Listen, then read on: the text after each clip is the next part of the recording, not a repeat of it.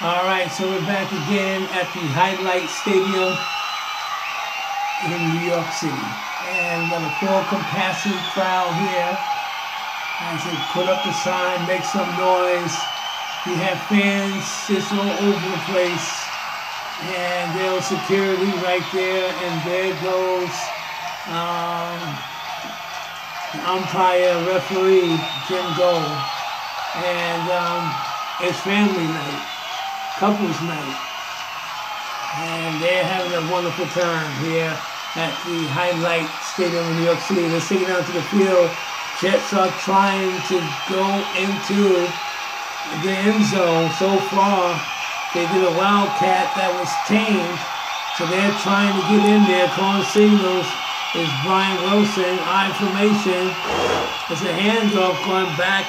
Oh, this time they're going to Hector Hall. Right there, put it on. Up the middle. Oh, he's hit hard.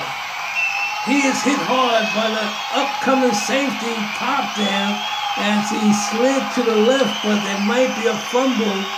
We have to take a look at that. Wow, what a hit by the safety who came up and popped Hector Hall. We'll be right back in 60.